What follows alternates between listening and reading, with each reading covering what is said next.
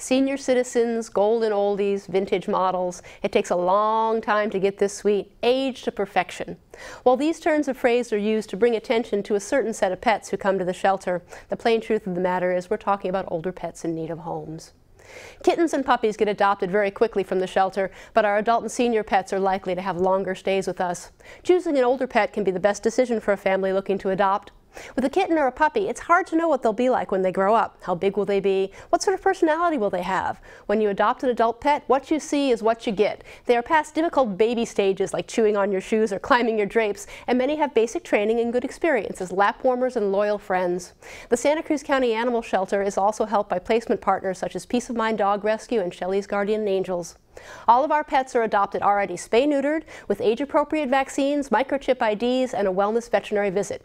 If you're thinking of bringing home a new furry friend into your family, please consider a shelter pet. Santa Cruz County Animal Shelter. Open door, open heart.